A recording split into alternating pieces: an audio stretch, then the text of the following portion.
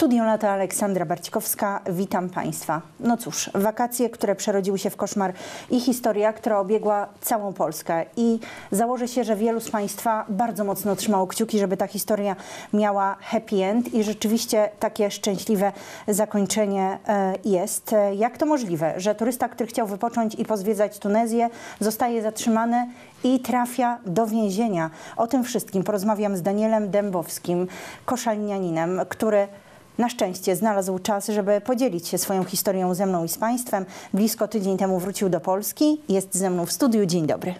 Dzień dobry Państwu. Dzień dobry. Nie jesteś podróżniczym żółtodziobem. Od tego chciałam zacząć, ponieważ e, masz taką ciekawą mapę w swoim pokoju. Tam e, pozaznaczane są kierunki, które już odwiedziłeś. Poznawanie świata to chyba Twoja pasja. Mam nadzieję, że wciąż nią jest. Na koncie masz sporo odwiedzonych krajów, w tym także te, które znajdują się w Afryce, w północnej Afryce. Byłeś w Egipcie, w Maroku, ale także na Wyspach Zielonego Przylądka. Więc trochę ten klimat, trochę, e, trochę tą Afrykę poznałeś, ale czy przed wyjazdem do Tunezji docierały do Ciebie informacje dotyczące tego kraju i sposobu traktowania turystów, które mogłyby Cię zaniepokoić? Czy może wszyscy zachwalali kierunek, mówili Daniel, pojedź, naprawdę wypoczniesz, będziesz się dobrze bawił? Wcześniej bywałem właśnie w Afryce. Zdawałem sobie sprawę, jak tam wszystko wygląda, jakie to są kraje, na co trzeba zwracać uwagę, na co uważać. E, Zawsze też no, mniej więcej przygotowywałem się do tych wyjazdów. Bywałem tam kilkukrotnie już w ciągu mojego życia, czy z rodzicami, czy wcześniej jeszcze z dziewczyną parę lat temu e, w Maroko, e, czy też e, właśnie samotnie teraz do Tunezji. Za każdym razem próbowałem się jakkolwiek przygotować na to i wszystkie informacje, które znalazłem w internecie były pozytywne. Jakby informacje o Tunezji były naprawdę dobre, pozytywne i opinie były też zawsze takie same. E, Była to taka jasna strona Tunezji, którą poznałem ze strony internetu. E, I dostając się tam, e, no niestety po paru dniach właśnie była ta niemiła sytuacja zatrzymania i wtedy dopiero zacząłem poznawać tą Tunezję od wewnątrz, od tej ciemnej strony. Właśnie, za chwilę do tego e, przejdziemy. Powiedzmy, że właśnie do Tunezji poleciałeś sam. Czy miałeś gotowy plan zwiedzania? Czy skoro masz spore doświadczenie jednak w podróżowaniu, to chciałeś zdecydować na miejscu, co i kiedy zobaczysz i jak ten czas będziesz spędzał? E, Dokładnie. Na, zdecydowałem się na, na taki plan podróży dopiero na miejscu.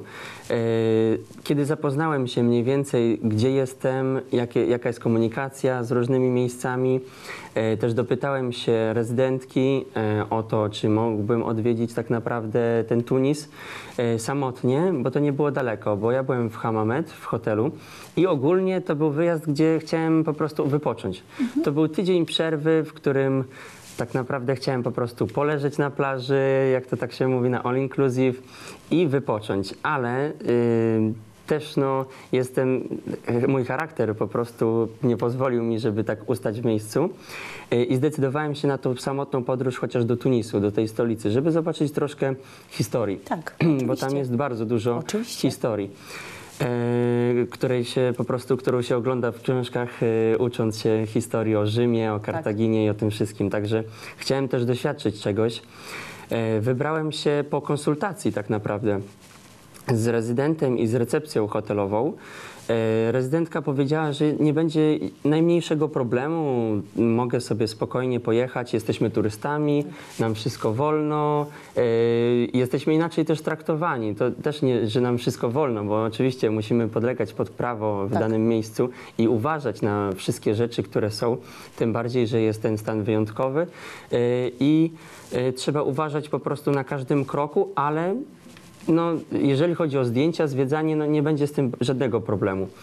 E, Były też poruszane tematy właśnie zdjęć, e, różnych takich... em, Budynków? e, Tak, budynków, że jeden pan na spotkaniu poruszył sprawę zdjęć budynków rządowych, policji i tak dalej.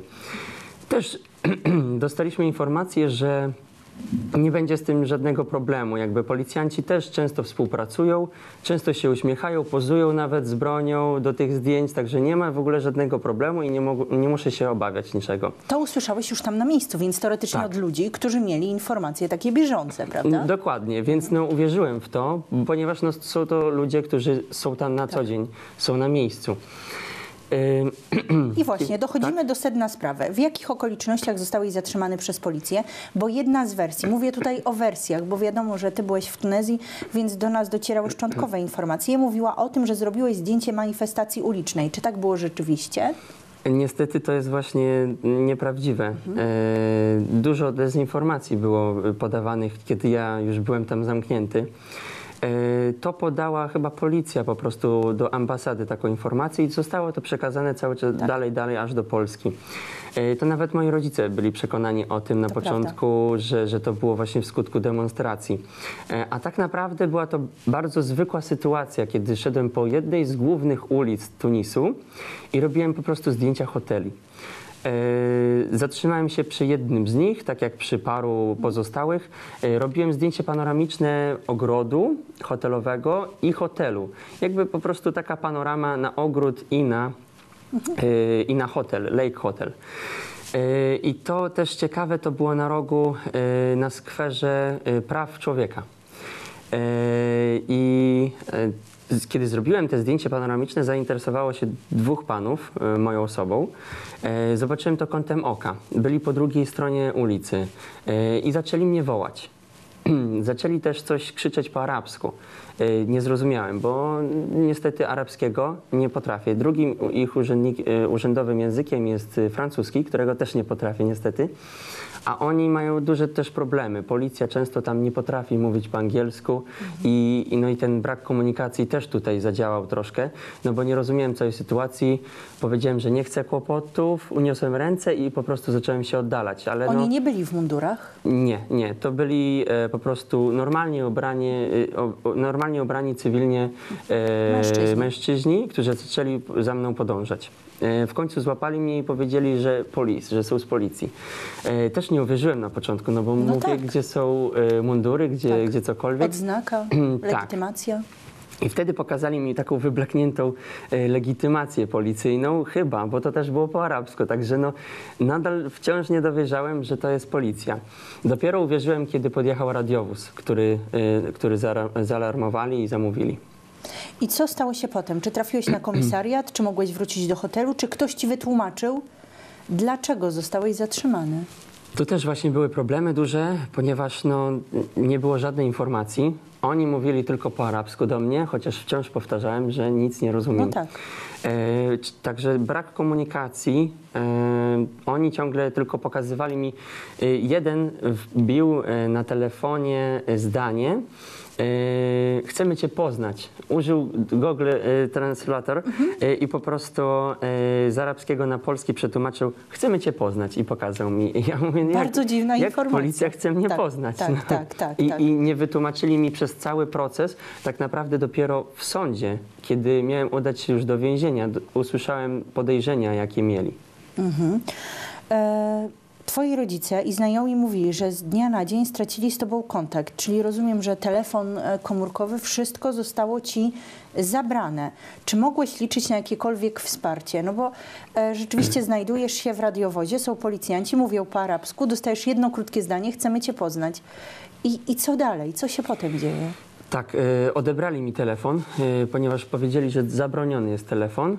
E, po prostu też nie, nie do końca rozumiałem sytuacji. Zabrali mi wszystko tak naprawdę, co miałem przy sobie. Czyli portfel, dokumenty? Tak, tak. Wszystko, co tylko miałem przy sobie, zabrano mi.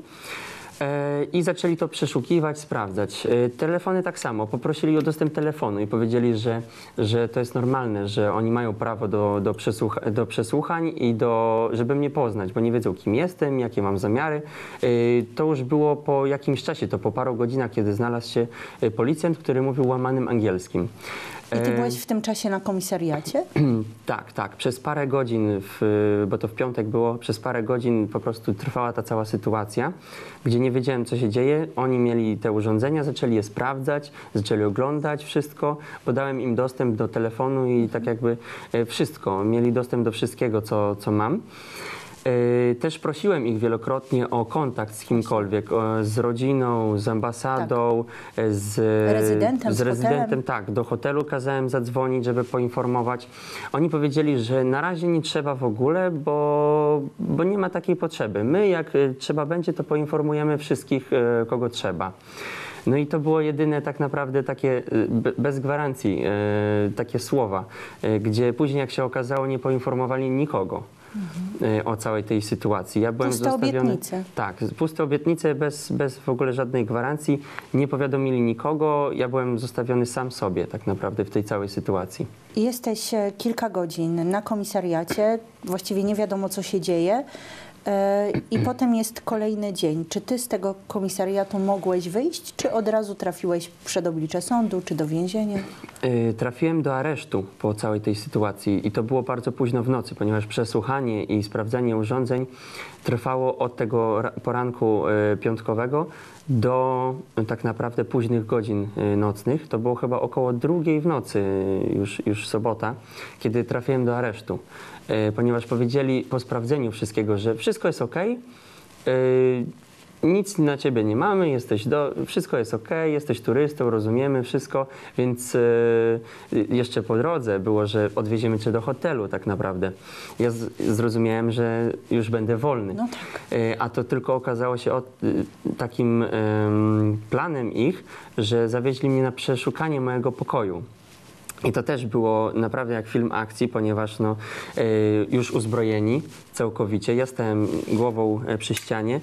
Oni uzbrojeni całkowicie zaczęli ładować bronię, przeładowywać i przygotowywać się do, do akcji, że tak powiem. E, Podjechało parę uzbrojonych wozów. e, Wepchano mnie do środkowego wozu i z eskortą policyjną na sygnałach świetnych, dźwiękowych ruszyliśmy taką całą kolumną z busem jeszcze z tyłu.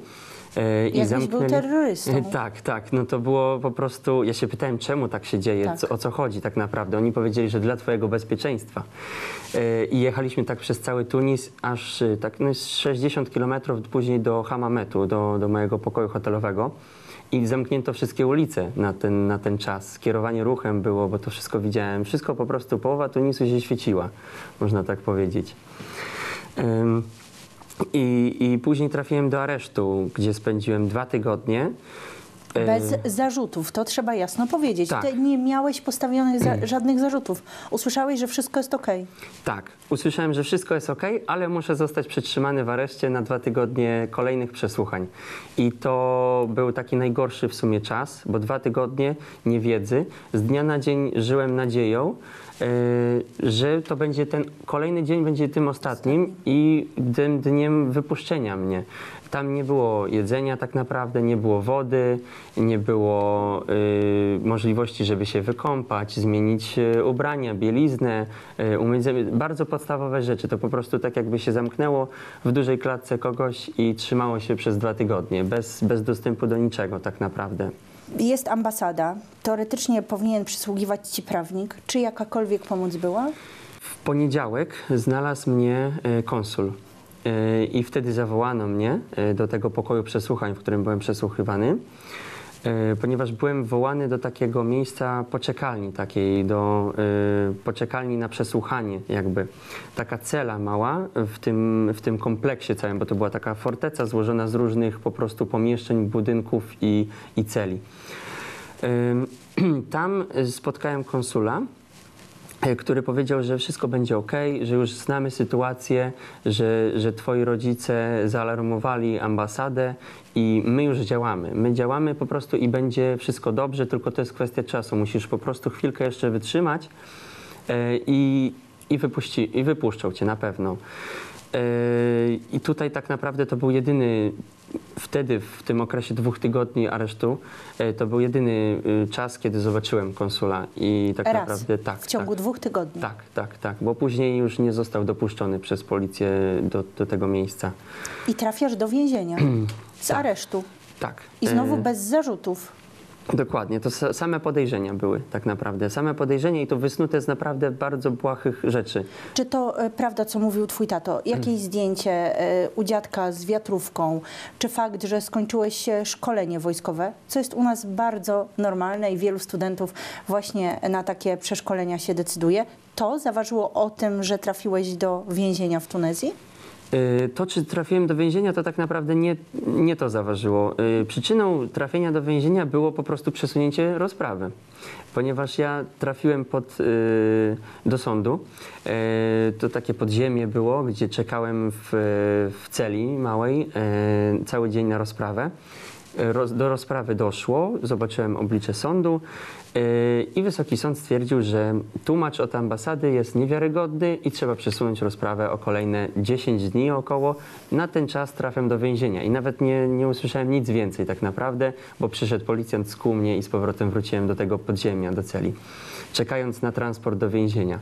Yy, a te zdjęcia, do których później się yy, tak naprawdę przy, przyczepili, y, to y, były zdjęcia w mundurze na przykład, zdjęcie w mundurze, gdzie to jest normalne i wytłumaczyłem, że byłem w jakiejś tam formacji Oczywiście. y, bardzo zwykłej, bo to nawet te Wojska Obrony Tak. Terytorialnej, gdzie, gdzie każdy po prostu, nawet student, czy to Oczywiście. jest połączenie życia cywilnego z wojskowym, Tak. czyli takie jakby mm, po prostu obrodność państwa, hobby i, i to tyle. I coś, do czego nasze władze zachęcają przecież Dokładnie, ludzi. to była rzecz normalna, Tak. y, ale to y, na podstawie tego y, podejrzeniem kolejnym było szpiegowanie, czyli że mm, dostałem pytanie, czy wysłał, wysłało mnie państwo, y, czy, czy nie jestem szpiegiem, czy nie jestem tajnym agentem, który tutaj przyjechał inwigilować nasz kraj.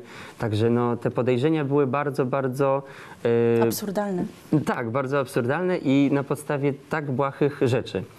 E, także wszystko prześwietlali mi calutki telefon, całe moje życie i wynajdowali jakieś drobne rzeczy, które... z których- Niepowiązane ze sobą. tak, niepowiązane zupełnie, bo nawet zostałem os- później podejrzewany o współpracę z Izraelem. e, Z... Chusta Arafatka? Dokładnie, a miałem chustę y, W w Egipcie. Egipcie. Także to były zupełnie sprzeczne rzeczy. Y, Te podejrzenia, które zostały wysnute na podstawie tych zdjęć, które miałem, to, to nawet do siebie nie pasowało. To jeszcze jeden wątek, chociaż chciałabym poruszyć. Czy w Tunezji nie można fotografować hoteli? Bo mówiłeś, że przy okazji panoramicznego zdjęcia ogród i hotel mm, właśnie e, zostałeś zatrzymany przez policjantów. Y, No niestety, to była tak y, normalna rzecz, y, się wydaje. E, Po prostu znalazłem się w nieodpowiednim miejscu w nieodpowiednim czasie i to każdy mógł znaleźć się w takim miejscu, ponieważ fotografowanie hoteli jest rzeczą zwykłą i normalną.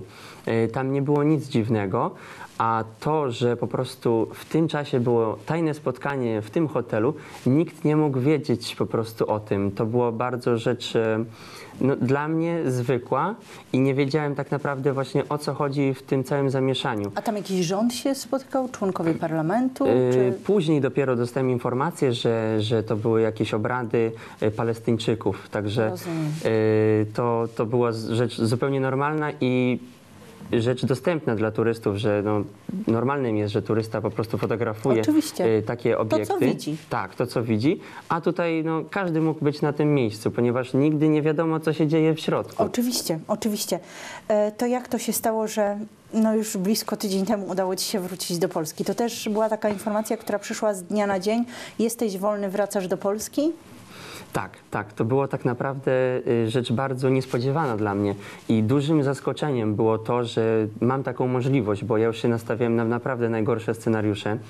E, Po tym, jak więziono mnie bez żadnych e, zarzutów, tylko na samych podejrzeniach przez taki okres czasu, spotkałem też współwięźniów, którzy e, byli więzieni jeszcze przez dłuższy czas. Na przykład to było półtora roku bez postawienia zarzutów. Nawet byli, były dłuższe przypadki, także no, ja już zacząłem się zastanawiać, czy w ogóle stamtąd wyjdę, czy, czy nie będzie to jakieś dożywocie tak naprawdę w mojej sprawie, bo zarzuty były, podejrzenia były konkretne i zarzuty mogły skutkować dożywociem na, nawet. Więc to no, obawiałem się cały czas. A to, że wyszedłem było dużym zaskoczeniem. E, Tak naprawdę ucieszyłem się bardzo, Yy, I złożyło się na to dużo elementów, bardzo dużo. Właśnie te yy, naciski mojej rodziny tutaj tak. z, z Polski, za co bardzo im dziękuję. Twoja rodzina naprawdę robiła wszystko. Tak, bardzo im za to dziękuję. Wiedziałem, że będą po prostu za mnie walczyć.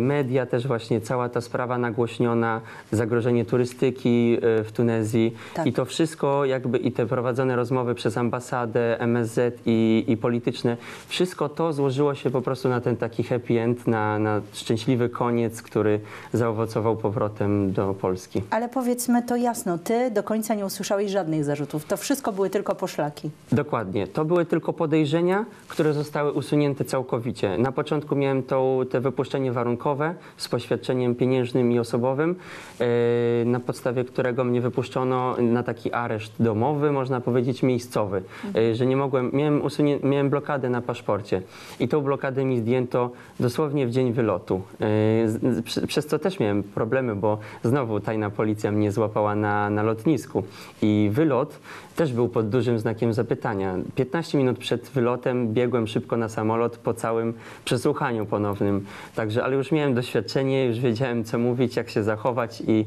e, jakoś się udało. Czy w takim razie, już kończąc, e, miałbyś jakieś rady dla tych osób, które w najbliższym czasie wybierają się do Tunezji? Ja tam akurat e, wykreślam sobie Afrykę na ten czas e, podróży.